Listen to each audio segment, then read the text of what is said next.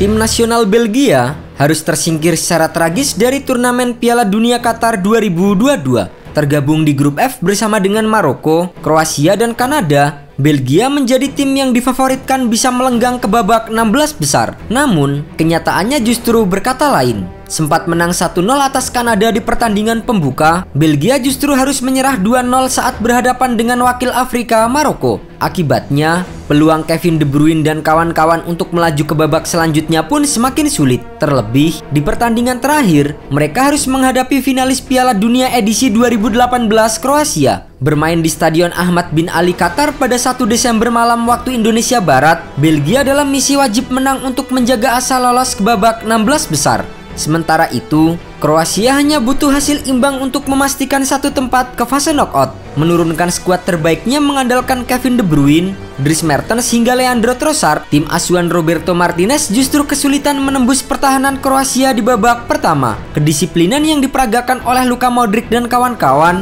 membuat skor 0-0 bertahan hingga jeda. Di babak kedua, Belgia memasukkan Romelu Lukaku untuk menambah daya gedor The Red Devils. Dan benar saja, pemain Inter Milan itu langsung mendapatkan peluang emas ketika baru beberapa saat berada di lapangan. Menerima umpan tarik yang sangat manis dari rekannya, Lukaku yang melepaskan tembakan keras di depan gawang justru hanya membentur mister gawang yang dijaga oleh Thibaut Courtois. Di menit ke-62, Lukaku kembali mendapatkan peluang emas untuk mencetak gol ke gawang Kroasia. Mendapatkan umpan crossing dari sisi kiri, namun kali ini mantan pemain Manchester United itu gagal memasukkan bola ke gawang. Meski kiper Kroasia sudah mati langkah saat berusaha maju menjemput bola, Lukaku lagi-lagi gagal mencatatkan namanya di papan skor. Umpan terarah Thomas Munir tidak disambut Lukaku yang berdiri bebas di dalam kotak penalti. Bola justru memantul liar usai menyentuh kaki Lukaku. Di saat Belgia harus memenangkan pertandingan melawan Kroasia, The Red Devils justru susah payah saat berusaha untuk mencetak angka. Saat pertandingan memasuki injury time, Lukaku kembali gagal menjebol gawang lawan.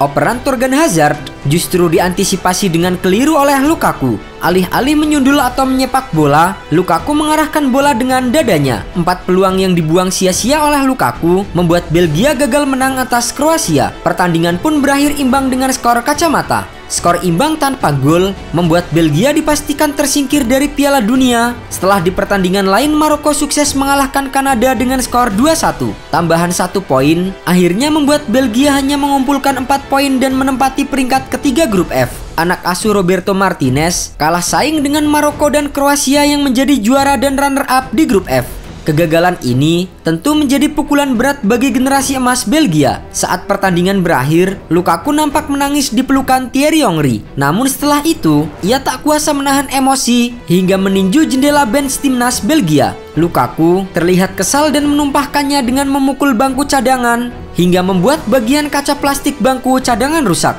Romelu Lukaku menghancurkan jendela bench setelah Belgia tersingkir dari Piala Dunia. Sebelumnya, hal serupa juga pernah dilakukan kiper Belgia Thibaut Courtois saat merasa kesal karena timnya dikalahkan Maroko dengan skor 2-0. Saat itu, setelah pertandingan berakhir, Courtois terlihat kesal dan memukul bangku wasit cadangan. Tersingkirnya Belgia dari babak penyisian menjadi salah satu kejutan di Piala Dunia 2022. Sebab, sebelum turnamen berlangsung, Belgia dinilai masih memiliki kualitas untuk bersaing di jalur juara dengan materi pemain yang sangat mumpuni. Tetapi generasi emas Belgia nampaknya kini tengah usang dan keraguan itu justru datang dari pemain mereka sendiri Kevin De Bruyne. Gelandang Manchester City itu mengatakan bahwa para pemain Belgia sudah terlalu tua yang kemudian justru memicu konflik internal. Akibatnya, isu perpecahan juga sempat menyelimuti tim internal Belgia. Namun, hal itu akhirnya langsung dibantah oleh Eden Hazard. Belgia di Piala Dunia 2022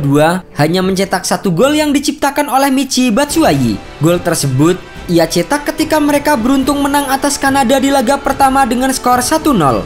Kegagalan Belgia di Piala Dunia 2022 juga membuat pelatih Roberto Martinez memutuskan untuk mengundurkan diri. Kepastian itu disampaikan oleh Federasi Sepak Bola Belgia di akun Twitter mereka. Martinez menanggalkan jabatannya setelah pertandingan Belgia versus Kroasia dalam babak penyisian grup F Piala Dunia. Bagi Belgia, kegagalan di turnamen bergengsi menambah panjang catatan buruk tim yang disebut-sebut sebagai generasi emas. Red Devils tidak pernah meraih trofi di turnamen utama sejak 2014. Belgia gugur di perempat final Piala Eropa 2016 dari Wales. Mereka kemudian tumbang di semifinal Piala Dunia 2018 kontra Prancis. Pada Piala Eropa 2020, Romelu Lukaku dan kawan-kawan kalah di tangan Italia pada babak perempat final. Kali ini, tim peringkat kedua ranking FIFA itu angkat koper dari babak penyisian.